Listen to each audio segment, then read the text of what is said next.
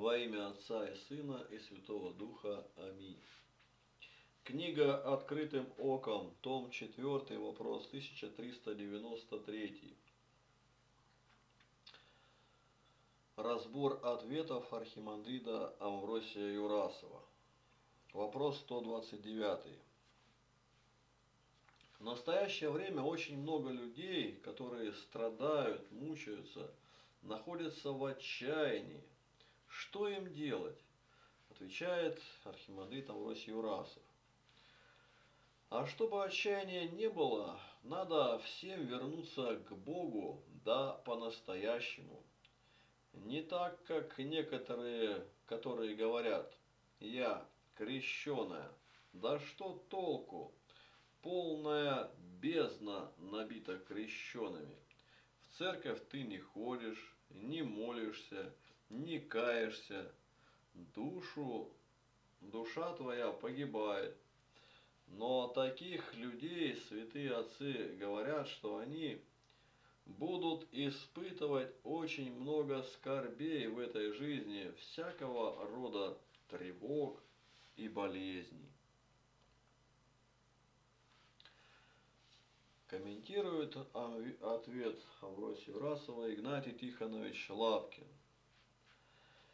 Если таких людей бездна, которые были крещены, почему же ни разу священник не ставит вопрос, кто же их накрестил? Или что такой вопрос запрещено ставить, он слишком опасен?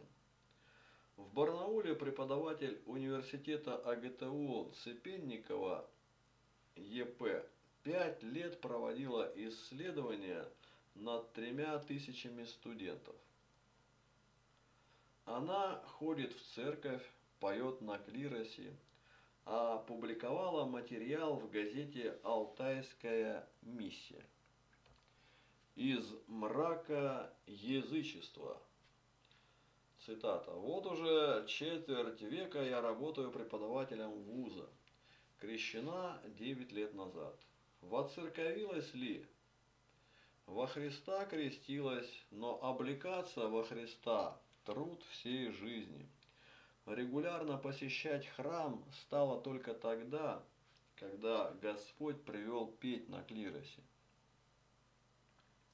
За пять лет преподавания в Алтайском государственном техническом университете мне пришлось встретиться с тремя тысячами студентов. На протяжении пяти лет 1994 по 1999 годы я проводила анкетирование. Было опрошено 3000 человек в возрасте от 17 до 23 лет. Это студенты первого, второго, третьего курсов, 14 факультетов, 100 групп. Опрос показал, первое, 0,3% безоговорочно считают себя православно верующими, исповедуются и причащаются. Второе. 50% никогда не задумывались над проблемами веры. Третье.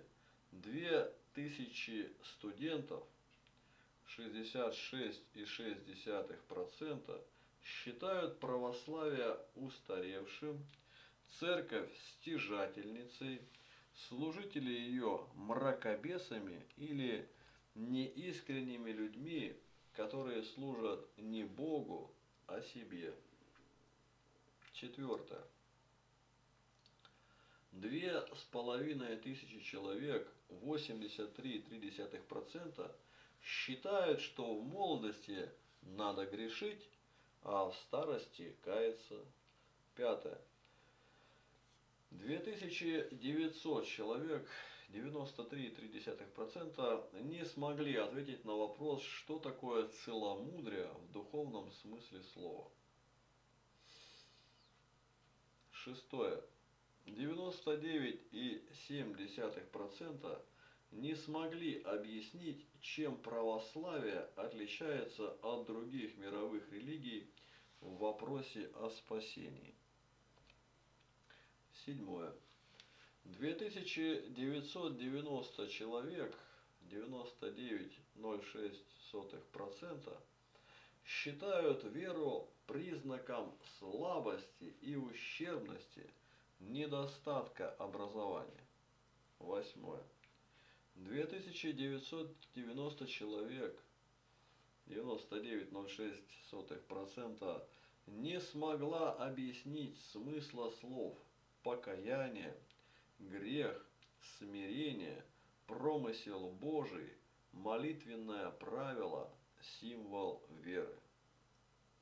Девятое. 900 человек, 30%, сторонники или участники тоталитарных сект, среди которых наиболее популярными являются саентология, ивановцы, кришнаиты. Десятое. Не видят в этих заблуждениях опасности, считают, что верить можно как угодно и во что угодно. 99 0,6% не считают опасным экуменизм. 11. 99,6% не знают молитв, не умеют себя вести в храме, не понимают духовного смысла поста. 12. При этом крещенных в православную веру 97,5%.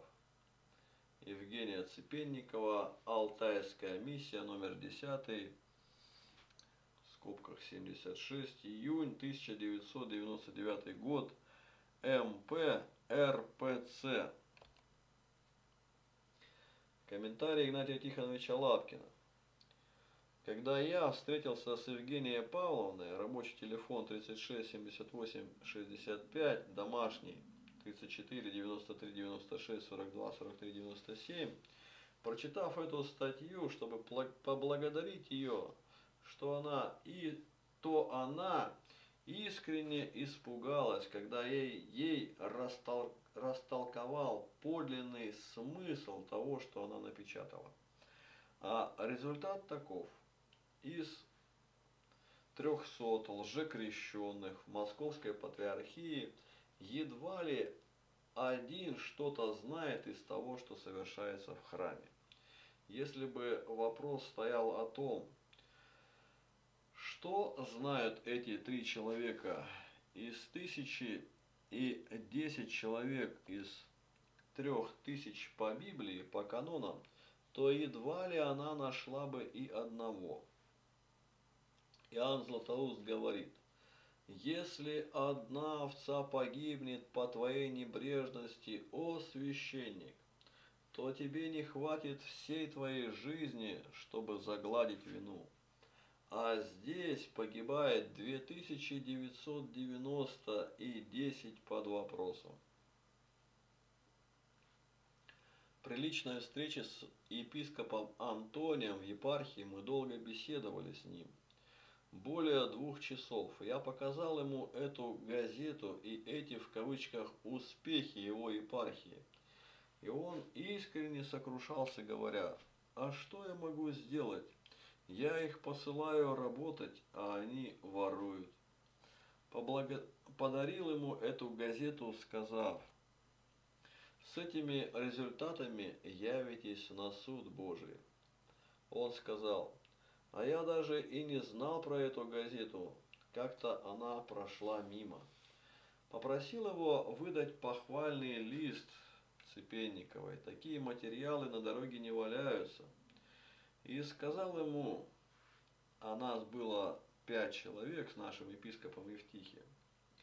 Почему же вы так распустили вожжи и не наказываете своих священников и работников, о которых патриарх Алексий II сказал, каких бандитов напринимали в церковь? Епископ Антоний встал, осторожно открыл дверь, дверь своей приемной, выглянул за дверь и смущенно сказал, «Боюсь, подслушивают, недавно было покушение от своих же». Нам всем стало страшно и жалко его, заложника, насквозь пропитанной мафиозными структурами МП. 8 июля 2001 год. Епископ Антоний внезапно скончался в возрасте 41 года.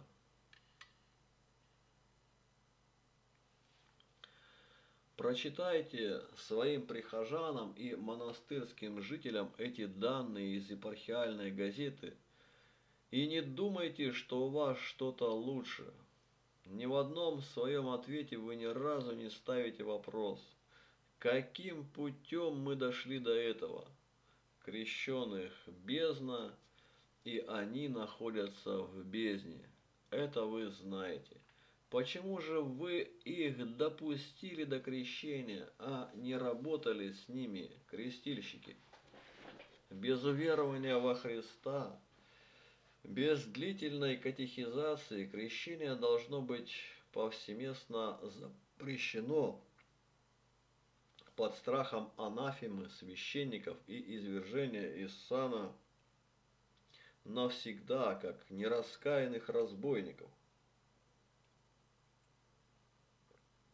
Трубите тревогу, что души, погубленные вами, не наученные, согласно ваших слов, живут не во Христе и являются готовой добычей сатаны. Все вопросы, которые задают вам отец Амвросий, люди, ведь они же стоят в храме, не на площади – и вы говорите, что эти вопросы, напечатанные вами, всего лишь малая часть того, что вам задавали. Можно предположить, что вы отобрали наиболее интересные, как вам показалось, поучительные вопросы. Притом люди в одном вопросе выражают далеко не все, а только самое тревожное. Это вопросы о явлении бесов, об унынии, отчаянии, нелюбви и о многом другом, что должно быть исторгнуто вами из них давным-давно. Неужели вам нравится управлять такими людьми, совершенно ничего не знающими, задающими такие вопросы, которые задают бабки на улице? По этим вопросам видно, что вы стоите на развалинах, ибо это ваше паство. Ведите эту пасту прямо ко Христу по Слову Божию. Начинайте ими заниматься, и все изменится. Христос воскрес, а если бы не так, то все бы светлое давно окутал мрак, и солнца правды не узнали б мы, и не было бы выхода из тьмы.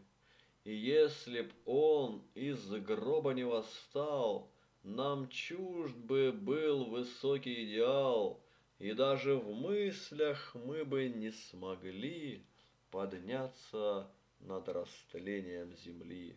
Он жив, а если б он не жил, То мир давно б уже похоронил Живое все, что есть в душе у нас — Пытался сделать это он не раз. И если бы тот камень гробовой не отнят был всесильной рукой, то и сейчас бездушный садукей мог правду скрыть под грудою камней. Та весть прошла через грани всех веков – и через границы всех материков. Ни варварства, как видим, ни прогресс не заглушили песнь. Христос воскрес!